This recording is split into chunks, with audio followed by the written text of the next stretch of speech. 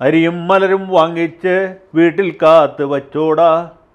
കുന്തിരിക്കം വാങ്ങിച്ച് വീട്ടിൽ കാത്ത് വച്ചോടാ. ഈ മുദ്രാവാക്യം നിങ്ങൾ മറന്നിട്ടുണ്ടാവില്ല എന്ന് ഞാൻ വിചാരിക്കും. പോപ്പുലർ ഫ്രണ്ടുകാർ ആലപ്പുഴയിൽ നടത്തിയ പ്രകടനത്തിൽ ഒരു കൊച്ചു കുട്ടിയെ കൊണ്ട് വിളിപ്പിച്ച മുദ്രാവാക്യം ആ കുട്ടി വിളിക്കുന്നതനുസരിച്ച് അതേ താളത്തിൽ പോപ്പുലർ ഫ്രണ്ടിന്റെ ധർമ്മഭടന്മാർ ഇത് ഏറ്റു വിളിക്കച്ചു ആ മുദ്രാവാക്യം വിളി കഴിഞ്ഞാൽ അധികം വൈകാതെ ഏതാനും മാസങ്ങൾക്കുള്ളിൽ പോപ്പുലർ ഫ്രണ്ട് നിരോധിക്കപ്പെട്ടു. അതിന്റെ നേതാക്കന്മാരെയൊക്കെ അതിനു മുമ്പ് തന്നെ അറസ്റ്റ് ചെയ്ത് കൊണ്ടുപോയി. ഈ ദേശീയ അന്വേഷണ ഏജൻസിയുടെ ഉദ്യോഗസ്ഥന്മാർ നേരത്തെ ഇവിടെ വന്ന് പ്രച്ഛന്ന വേഷം ധരിച്ച് ഇവരെ സംബന്ധിച്ച സകല ഡീറ്റെയിൽസ് എടുത്തുകൊണ്ട് പോവുകയും. അവരെ എല്ലാവരെയും യാതൊരു സൂചന നൽകാതെ ഒരു മുന്നറിയിപ്പും ഇല്ലാതെ അറസ്റ്റ് ചെയ്ത് ഡൽഹിക്ക് കൊണ്ടുപോവുകയും ചെയ്തു. അതിനുശേഷം ഒരാഴ്ച തികയുന്നതിന് മുമ്പ് ഈ സംഘടനയെ തന്നെ നിരോധിച്ചു. പോപ്പുലർ ഫ്രണ്ട് നിരോധിച്ചു. ആ കൂട്ടത്തിൽ ക്യാമ്പസ് ഫ്രണ്ട് നിരോധിച്ചു. അതുപോലെ വിമൻസ് ഫ്രണ്ട് നിരോധിച്ചു. ജൂനിയർ ഫ്രണ്ട് നിരോധിച്ചു. റിഹാബ് ഇന്ത്യ എന്ന് പറഞ്ഞ് ഇവരുടെ ജീവകാരുണ്യ സംഘടന നിരോധിച്ചു. N C H R O എന്ന് പറഞ്ഞ മനുഷ്യാവകാശ സംഘടന നിരോധിച്ചു. അങ്ങനെ എല്ലാം നിരോധിച്ചു. കണ്ണുമാമുനി മരിച്ചു. കാളിദാസൻ മരിച്ചു. ശകുന്തള മരിച്ചു. അനസൂയ മരിച്ചു എന്ന് പറഞ്ഞ പോലെ സകല സാധനങ്ങളെ നിരോധിച്ചു. പക്ഷേ ഒരെണ്ണത്തിന് മാത്രം നിരോധിച്ചില്ല. നമ്മൾ അന്ന് പറഞ്ഞതാണ്. അത് എസ് ഡി പി ഐ എന്ന് പറഞ്ഞ് ഇവരുടെ രാഷ്ട്രീയ രൂപത്തെ മാത്രമാണ്. Social democratic party of India എന്ന് പറഞ്ഞ് ഈ രാഷ്ട്രീയ പാർട്ടിയെ നിരോധിച്ചില്ല. കാരണം ജനപ്രാതിനിധ്യ നിയമം അനുസരിച്ച് രജിസ്റ്റർ ചെയ്ത ഒരു രാഷ്ട്രീയ പാർട്ടിയാണ്. അതിനെ നിരോധിക്കുന്നതിന് വേറെ ചില നടപടിക്രമങ്ങൾ ആവശ്യമുണ്ട്. അപ്പോൾ അന്ന് തന്നെ പറഞ്ഞു ഈ ക്യാമ്പസ് ഫ്രണ്ടിനെയും ജൂനിയർ ഫ്രണ്ടിനെയും വരെ നിരോധിച്ചിട്ട് എസ് ഡി പി ഐ നിരോധിച്ചില്ലെങ്കിൽ പിന്നെ എന്താ കാര്യം? പക്ഷേ എന്തുകൊണ്ടും അത് ചെയ്തില്ല. വേണമെങ്കിൽ അങ്ങ് നിരോധിക്കാമായിരുന്നു. അല്ലെങ്കിൽ നേതാക്കന്മാരെ അറസ്റ്റ് ചെയ്തുകൊണ്ട് എന്തെങ്കിലും ചെയ്യാമായിരുന്നു. പക്ഷേ അത് ഉണ്ടായില്ല. ഇതിന്റെ നേതാക്കന്മാരെ എല്ലാവരും അറസ്റ്റ് ചെയ്തു. അതിന് ശേഷവും ഇവർക്കെതിരെ നിരവധി നടപടികളുണ്ടായി. ഇപ്പോഴും നമ്മളിത് പറഞ്ഞുകൊണ്ടിരിക്കുമ്പോഴും ഒക്കെ പോപ്പുലർ ഫ്രണ്ടിന്റെ പ്രവർത്തകരെ പല നാട്ടുപുറത്തു നിന്നൊക്കെ പോലീസുകാരെ അറസ്റ്റ് ചെയ്തുകൊണ്ട് പോകുന്നുണ്ട്. ദേശീയ അന്വേഷണ ഏജൻസി വന്ന് കഴുത്തിന് കുത്തിപ്പിടിച്ച് വണ്ടി കയറ്റി കൊണ്ടുപോകുന്നുണ്ട് ഇവരൊക്കെ ഇനി എന്ന് സൂര്യപ്രകാശം കാണുന്ന നമുക്കറിയില്ല. ഇനി സൂര്യപ്രകാശമേ കാണുമോ എന്നറിയില്ല. പോപ്പുലർ ഫ്രണ്ടിന്റെ ദേശീയ നേതാവായി ഈ അബൂബക്കർ എന്ന് പറഞ്ഞ വന്യവയോധികനായ ഒരു മനുഷ്യൻ. അദ്ദേഹത്തിന് ഒരുപാട് അസുഖങ്ങളുണ്ട്. ക്യാൻസർ അടക്കമുള്ള. നിരവധി രോഗങ്ങളാൽ പീഡിപ്പിക്കപ്പെട്ടുകൊണ്ടിരിക്കുന്ന ഒരു വ്യക്തിയാണ്. ആ പീഡിതനെ ആ ജാമ്യം കൊടുക്കാതെ കോടതി പിന്നെയും പീഡിപ്പിക്കുകയാണ്.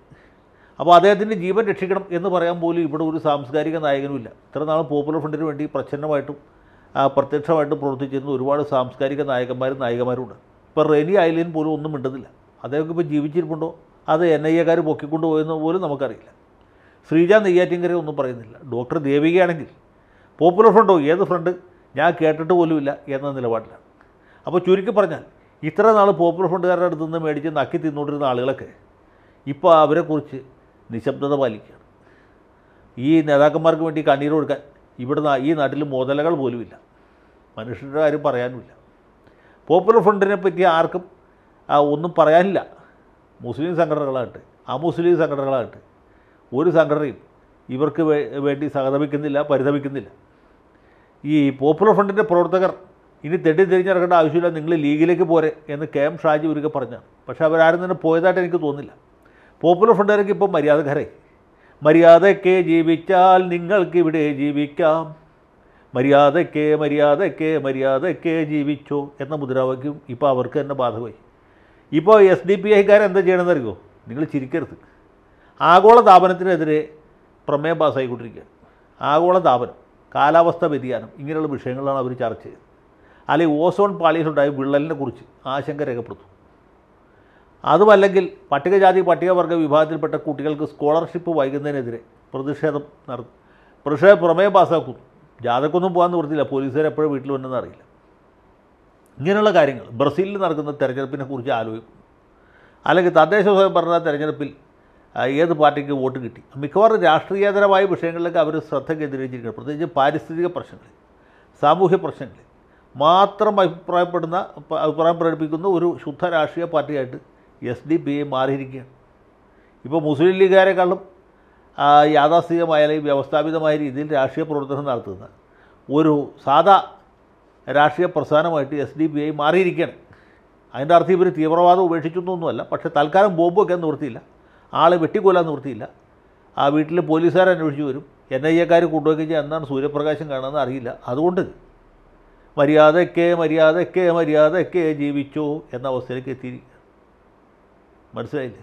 മര്യാദയ്ക്ക് ജീവിച്ചാൽ ഞങ്ങൾക്കിവിടെ ജീവിക്കാം. മര്യാദയ്ക്ക് ജീവിച്ചില്ലേൽ നമുക്കറിയാം ആസാദി.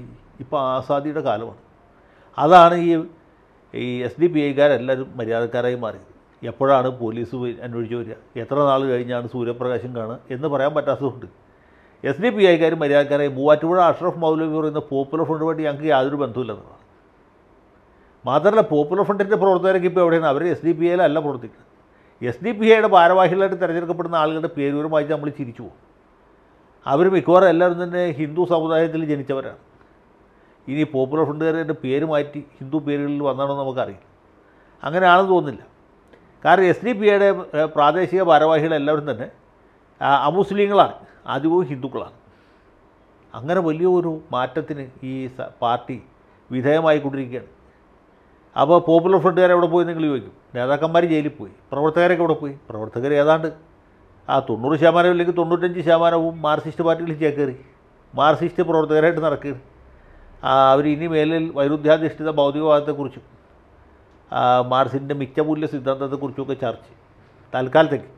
ഇനി പോപ്പുലർ ഫ്രണ്ടിന്റെ നിരോധനം നീക്കുകയും മനുഷ്യ വെട്ടിക്കൊല്ലാൻ പിന്നെ ലൈസൻസ് കിട്ടുകയും ചെയ്താൽ ആ സമയത്ത് തിരിച്ചിതിലേക്ക് വന്നാൽ മതിയല്ലോ. അതുവരെ നമുക്ക് വൈരുദ്ധ്യാധിഷ്ഠിത ഭൗതികവാദം മിച്ചമൂല്യ സിദ്ധാന്തം ആ ഭരണകൂടം കൊഴിഞ്ഞു വീഴും. ഇങ്ങനെയുള്ള സിദ്ധാന്തങ്ങൾ ചർച്ച ചെയ്തുകൊണ്ട് അവിടെ തുടരാം. അതാണ് ശരീരത്തിന് നല്ലത്. അതാണ് ആരോഗ്യത്തിനും ഗുണകരം എന്നവർക്കറിയാം. അതുകൊണ്ടാണ്. അപ്പോൾ ഏതായാലും എസ് ഡി പി ഐക്കാർക്ക് അവരുടെ മുദ്രാവാക്യം തിരികെ കുത്തിയിരിക്കുകയാണ് മര്യാദക്കേ മര്യാദക്കേ മര്യാദക്കേ ജീവിച്ചു. മര്യാദക്കേ ജീവിച്ചില്ലേ നമുക്കറിയാം എന്താണ് സെൻട്രൽ ജയിൽ?